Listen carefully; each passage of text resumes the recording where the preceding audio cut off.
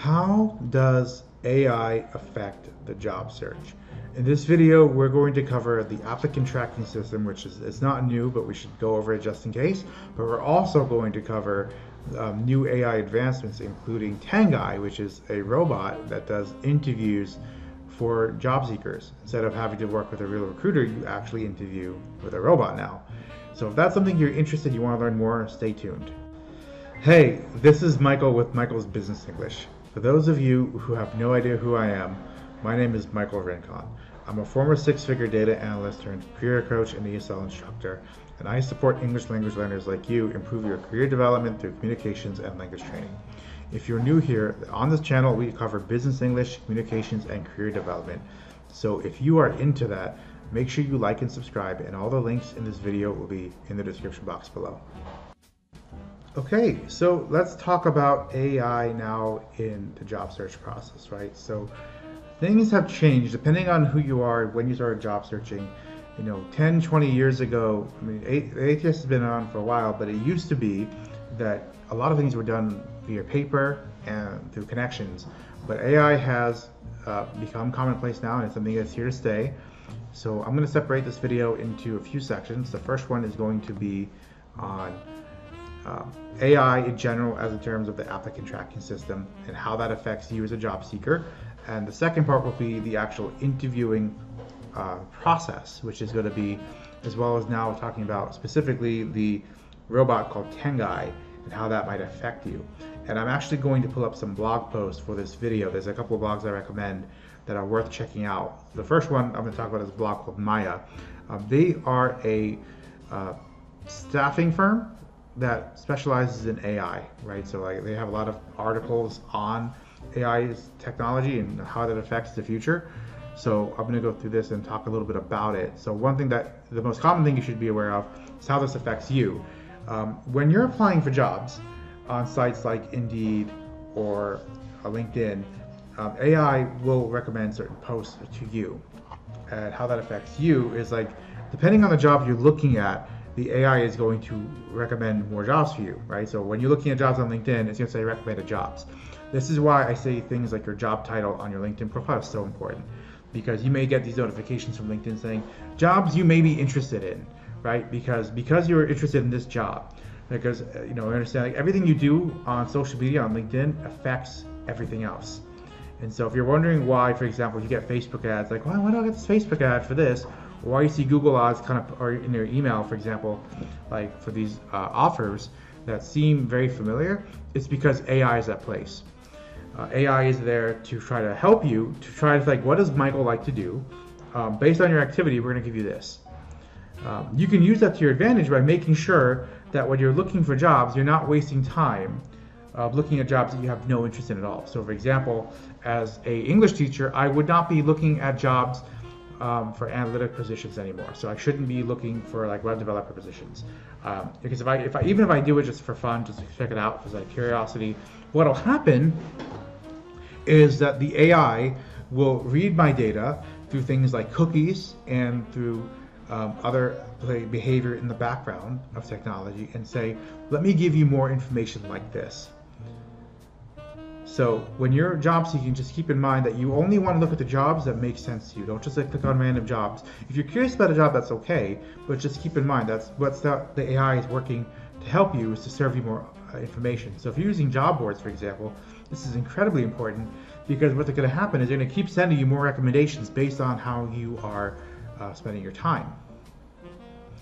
Now, how does that affects the ATS, um, in particular, when you are applying for jobs, this is really important to understand is like your resume, your CV, and your LinkedIn, you have to write for both a human audience as well as a computer audience. And I got to give credit where credit's due. This actually comes, this idea comes from Rachel Miller from Grow Your Audience. Rachel does uh, content marketing for Facebook. She's got an entire uh, business around that. And one thing she talks about in her course is that it's not just about creating content for people who like Facebook, people your audience, but making sure that Facebook itself likes your content because the algorithm affects how that gets get out. So how this applies for you is that making sure when you're writing your resume, your CV, and your LinkedIn profile, you don't just write it thinking like who is going to read it. It's not just for your hiring manager. You're also writing it to make sure that you are adhering to applicant tracking systems. So one of the things that I talk about in some of my courses is to make sure that your resume, your CV, um, is applicant tracking system approved, ATS compliant, which at a minimum means it's. I have templates that you can use, by the way, very simple. But at a minimum, you want to make sure there's no elements, there's no lines, no blocks. You want to make sure the font is readable. It's enough that it can be read, and you want to make sure that you're using the correct file format. Now, I believe the correct one is a Word document. It might be PDF. I'll double check. Um, I'll make sure I comment on this video but just make sure you follow the instructions on the application because sometimes it'll say here's the thing like this is the thing that really bothers me is that there is no absolutes when it comes to this because um, some some applicant tracking systems will say word and some applicant tracking systems will say pdf and the reason that it's word versus pdf is such a huge um, argument over that is because a lot of the applicant tracking systems uh, were used to using microsoft word. That's my understanding but again, like whenever you're applying for a job online, for any reason, make sure you just follow the instructions. So if it says Word, then you use Word. Um, uh, what other things I need to think about with the applicant tracking system? The big thing I think is making sure you have the right keywords because that's the thing that's really important. Like if a job description says um, looking for someone who has experience in this skill, then make sure somewhere in the job in the resume you mention that skill. So you'll notice my profile, for example, uh, will say things like metadata, EDT, data mapping, right? That is not an accident. That is because at the time I was targeting um, jobs that actually were looking for metadata roles because that's my experience was it. I, got a job as a metadata analyst, and so it made sense. I was looking for other jobs within that sphere, a very tiny circle, very small niche uh, job market, but big enough that I could go in there and kill it like by putting in these words that are specific to my industry, that are specific to the role that I'm interested in, like it's polarizing. It's going to eliminate 90% of jobs. I'm going to get rejected automatically. But the 10% of jobs I do get approached for, I'm going to be the, the, one of the top candidates because I'm one of the few people who has experience with metadata. Um, what else is there? So regarding the AI, so I'm looking at this blog right now to see if there's anything we can talk about here. Um, it looks like this is not what I was looking for. From it, this is going to be more for recruiters. So um, let me talk about this one thing I saw here. So this is what I just talked about before. I was talking about how AI affects the job board. You can see the section here says run more efficient job advertising by using AI native algorithms. It just, just just reinforces what I just said about the job boards.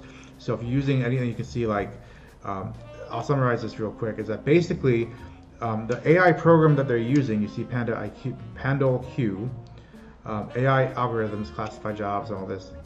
Um, it's being used on the different job boards. So like I said before, just make sure when you're job searching, you're making sure you're picking the correct uh, jobs and you're not just wasting time. Don't just pick a job because you think it's interesting.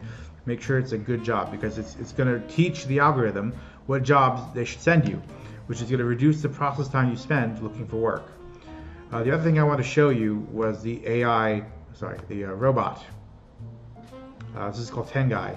It's an unbiased robot uh, for interviews. And I won't go into a lot of details about this one because I think this only affects a handful of job seekers right now. I don't think everyone's going to be dealing with this, but this is about a robot that's supposed to be unbiased.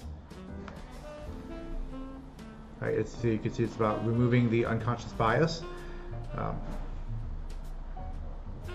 I actually did a podcast interview. I don't know if it's been out yet, but I did a podcast interview with Mya. That's the reason why I wanted to talk about them. And we actually talked about this, about the uh, experiences, like what it's like, how AI affects recruiting. And what he found was that there was a study done by Google where they built an AI recruiting bot that was biased.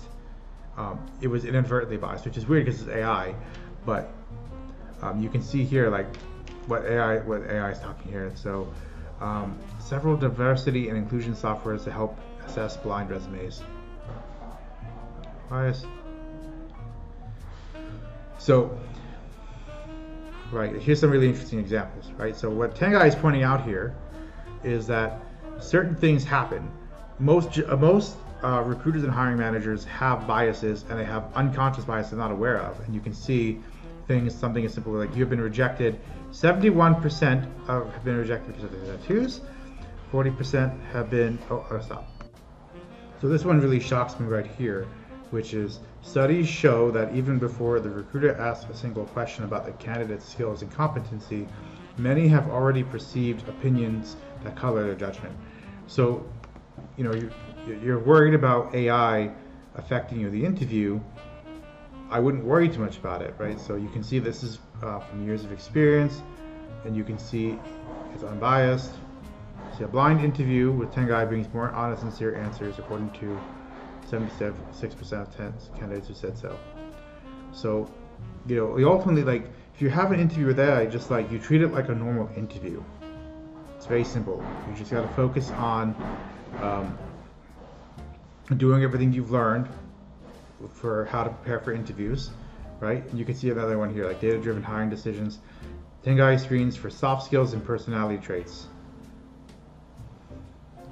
Very simple. Like nothing's changed, is what I'm trying to point out here in terms of interviews, even though it's AI stuff. Like nothing's really changed. You might be thinking like it might be different because it's a computer, it's because it's AI. But the point I want to make is that nothing has really changed, even though we have AI. So don't panic too much. Don't fret over it. Just remember that everything you've learned in your interview skills is going to be applicable for AI. All right, let me uh, end this video quick as a quick summary is to remind you that uh, AI affects the job search when you're mostly looking for jobs online. It's mostly going to be affecting the job boards. It's going to help you. It helps filter out and feed you roles that are a good fit for you. And the other thing is that um, the ATS, like just make sure you follow the instructions for that specific applicant tracking system when you're applying for jobs online, if that's how you choose to go.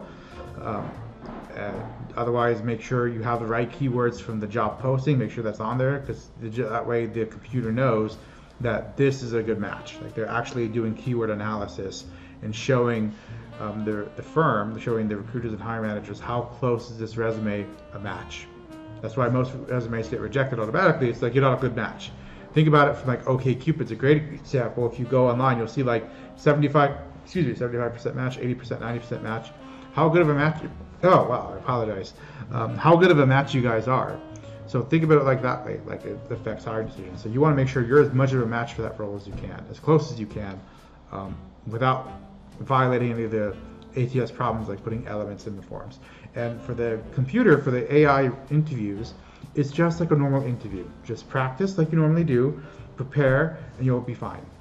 All right, thanks guys. If you have any more questions, feel free to drop a comment below. Um, don't forget to check out my resume CV checklist in case you have questions. This is going to help you when applying for jobs um, in any situation, but especially if you're applying for jobs online. it talks about making sure you have the correct format, what you need to have there. So make sure you check that out.